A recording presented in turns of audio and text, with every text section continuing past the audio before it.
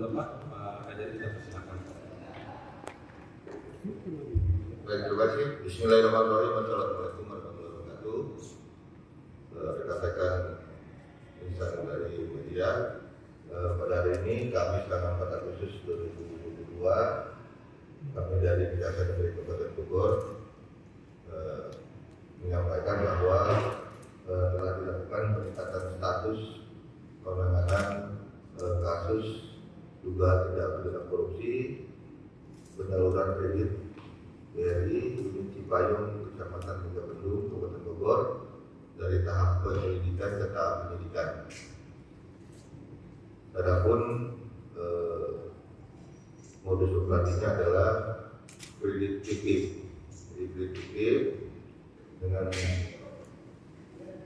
perkiraan dugaan kerugian eh, lebih sekitar 2,2 miliar dari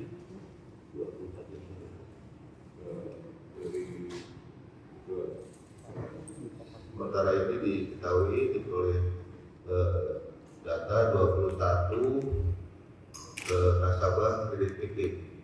Jadi yang bersangkutan pernah mengajukan kredit, kemudian ada yang ditolak maupun sudah lunas, tetapi kemudian data-data pribadinya dipergunakan kembali oleh oknum di internal bank BRI yang bersangkutan kemudian diajukan seolah mengajukan kredit ulang.